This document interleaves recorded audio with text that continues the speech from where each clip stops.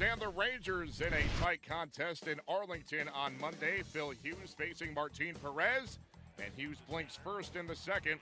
Man aboard for Rougned Odor. Into left center field. Here comes Mike Napoli. He scores on the Ribby double, 1 0 Texas. Two batters later, Joey Gallo. Sky high pop left side. Miguel Sano, who is appealing his suspension, lunges back and makes the nice grab. But Gallo some redemption bottom four. This time the RBI single.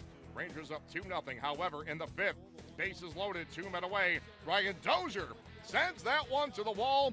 It is a bases clearing, go ahead three run double. The Twins have a 3 2 lead. That's where it stands, bottom nine.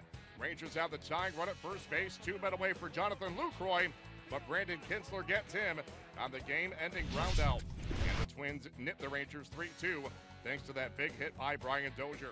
Robbie Grossman drew a walk for Minnesota. He's now reached base safely in all 16 of his starts this season.